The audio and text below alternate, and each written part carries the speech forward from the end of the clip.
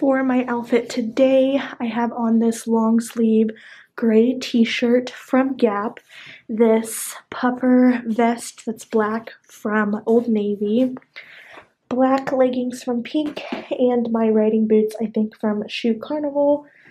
Hair is just washed, didn't have time for makeup, same jewelry as every day, and we are going to go to a comedy show tonight. There's a comedian coming to our improv area over here, and we got tickets. I'm going with Joey and his brother and his brother's girlfriend, so that'll be fun.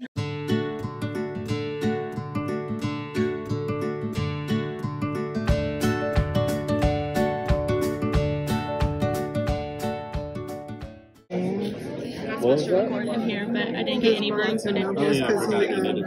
Oh, no shit? Yeah. Yeah, yeah, yeah. I didn't want to bring my camera. Yeah, it's like so first check.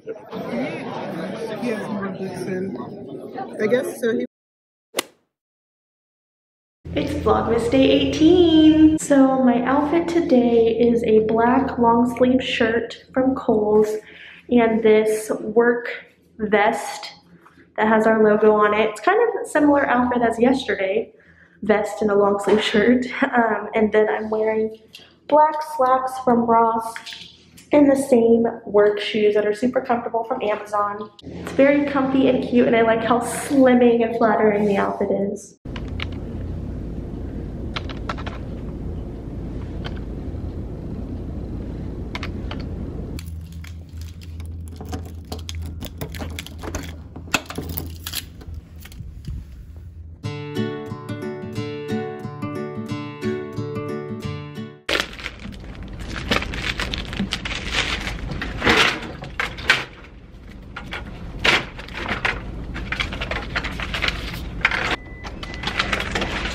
Hey guys, so that will be the end of today's vlog. As you can see, I am uploading today and yesterday together because I got absolutely no footage basically yesterday or today. So we're making it one vlog instead of a two second vlog each day.